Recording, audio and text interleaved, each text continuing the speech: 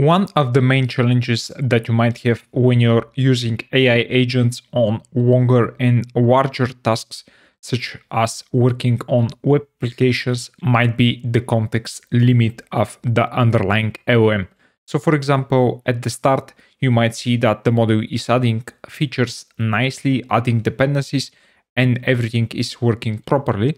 But after some time, you might observe that the model is starting to hallucinate, maybe even rewrite or even delete some of your files and introduce bugs which uh, at the start it didn't. So if you want to solve this problem, Anthropic has introduced a solution that might work in some of those situations. In their blog post, Effective Harness for Long Running Agents, they're saying that even though that models are becoming better and better, we are observing that getting agents to make consistent progress across multiple context windows remains an open problem. And they say that the core challenge of long running agents is that they must work in discrete sessions and each new session begins with new memory of what came before. So if you stop your agent after some time and you try to essentially resume the work from there, you don't have a checkpoint from which the agent knows how to continue.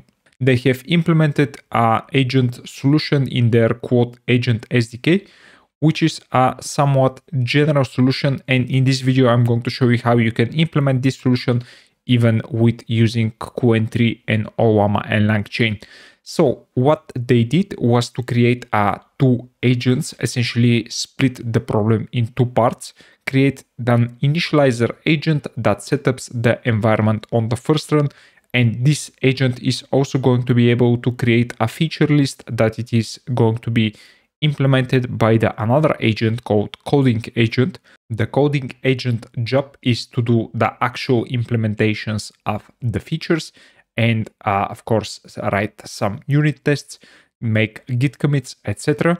And these will be used as artifacts to say that this project is actually going to be progressing and which of the features are actually already done.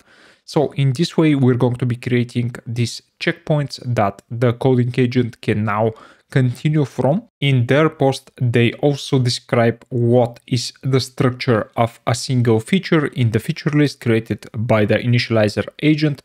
And then you can see that we have the category, the description, the steps that are needed to implement this feature and whether or not this feature is actually passing or not. So if this feature is actually implemented already. If you want to become a better AI engineer, go and subscribe to MLExpert Pro. There, you're going to find a complete AI engineering academy that starts from understanding what and how you can set up your environment, what are the foundations of AI and machine learning, such as Python, classical machine learning model statistics, and PyTorch, and from there, you're going to be learning how you can deploy your own machine learning models in production and how you can train them.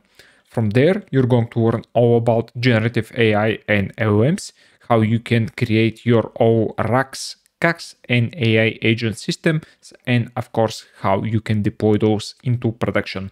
So if you want to become a better AI engineer, go and subscribe to MLExpert Pro.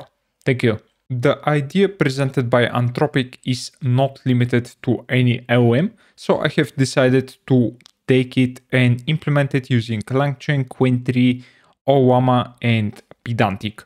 So what I have done is to create a very simple project that uses two different agents presented in their work, the initializer agent, which is going to be the architect, and they ha uh, have created this very simple agent environment. In this one, we're going to be able to have a feature list JSON, which we use the feature structure that you've seen in their blog post. Then you have the Git history, which will be also a context for the checkpoints. And we have a list of code files that pretty much are going to be containing the information from the different agents. From there, you're going to see that we have the coding agent, which is going to be using the agent environment as checkpoints and work on the features, writing some tests since I want this to be the verifications of whether or not each particular feature is actually being done. And then if the tests are failing, we're going to again continue with the coding agents. Otherwise, we have a success and then we're going to be doing a commit and updating of the feature list JSON. I'm in my Woko cursor instance and these are the only dependencies that we're going to be using, LangChain 1.1, the adapter for Ollama and the latest version of the Pydantic library. So we have just a single file in this particular application and this file contains the agents themselves along with the features that are going to be implemented in order to run the application. The first thing that I'm doing here is to specify the model that I'm going to be using along with a working directory. This is the actual directory within which the agents are going to be working in. Then I have initialized the LLM. In my case, this is going to be the Qwen 3 8 billion parameter model. And again, I'm using Ollama as the model provider. You can also enable reasoning if you want to. And then I have a couple of Pydantic classes, which are going to be the structured outputs that LangChain is going to provide for us. This will be the features, the project state, and the coding action that needs to be done in order to continue. Then I have a data class for shelled result. This is going to be essentially the output that I'm going to get from the shell once a command is going to be executed. And from there you can see that I have the agent environment. This will have a run shell uh, command, which essentially is going to tell our agents to run whatever they want as a command. Note that this is pretty terrible if you're running it on a machine that has some important information. So make sure that you're doing this very safely in a sandbox. Other than that, I have write file, read file, list files, git commit uh, method and function right here, and then get context. So this will essentially give us the checkpoint that we want for when we're going to be resuming the coding agent.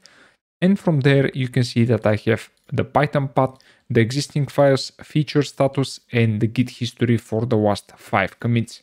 As you can see that I'm getting those with git log. So from there, you're going to see that I have the first agent, which is going to be again the initializer agent. And this will take a request, which is going to be the user input.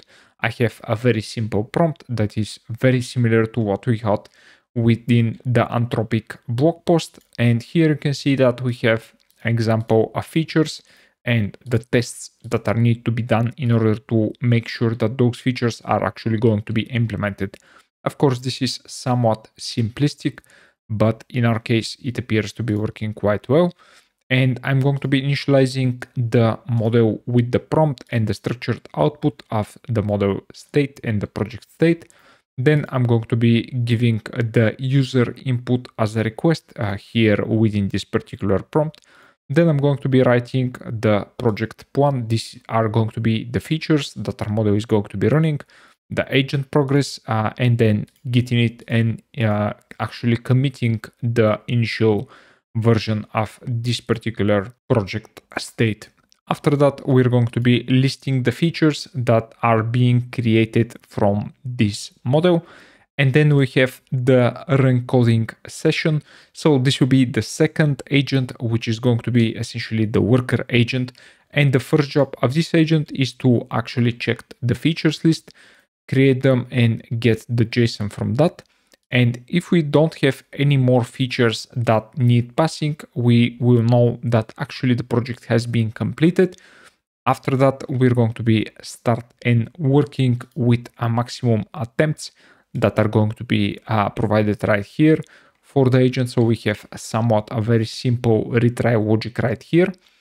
And here uh, we're going to be uh, again using another prompt this one is going to be for the worker agent. Uh, I have specified here that this is actually a Python developer.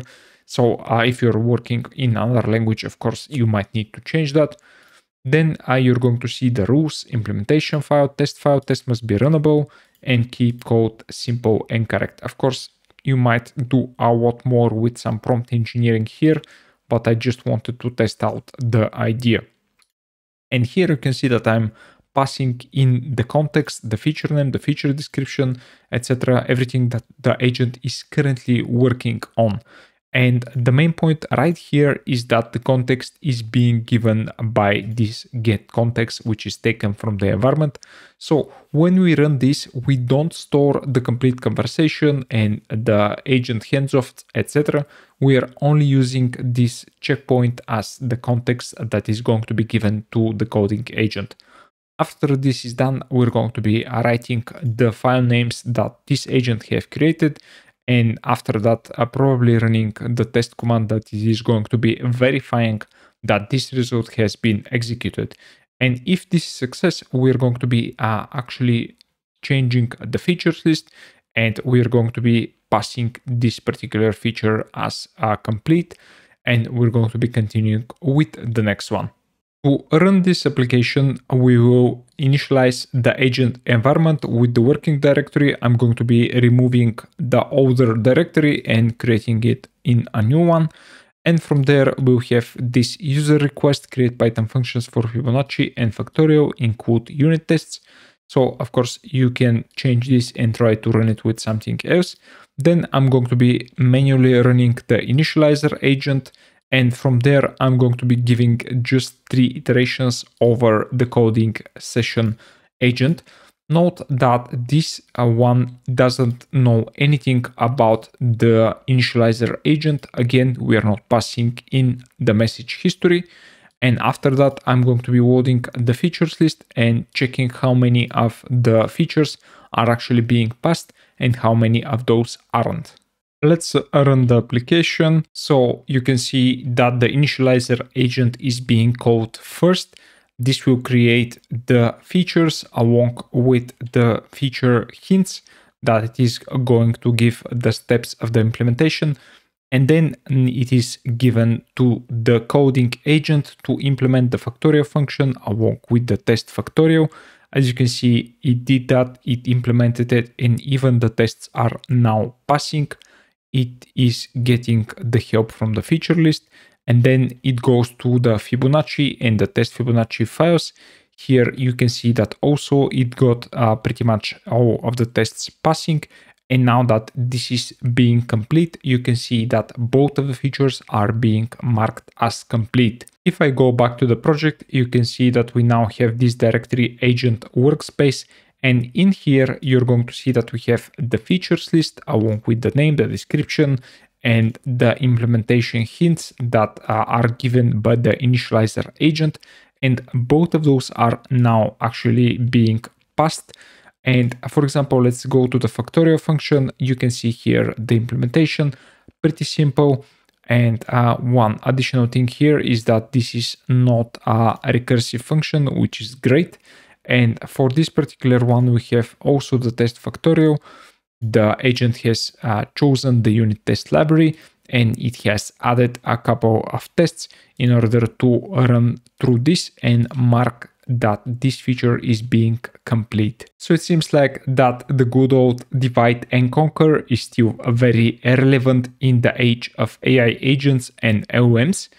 So the approach here is to split the problem into two different agents. We have the initializer agent and then we have the coding agent, which is actually the worker itself.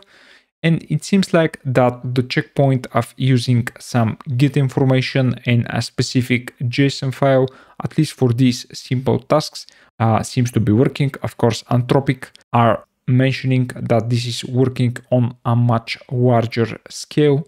And if you want to try it out, please let me know down into the comments below. I will upload and open source the code for this particular experiment. Thank you for watching guys. Please like, share and subscribe. Also join the Discord channel that I'm going to link down into the description of this video. And if you want to become a better AI engineer, go and subscribe to ML Expert Pro to get access to the complete AI Engineering Academy. Thank you for watching and I'll see you in the next one. Bye.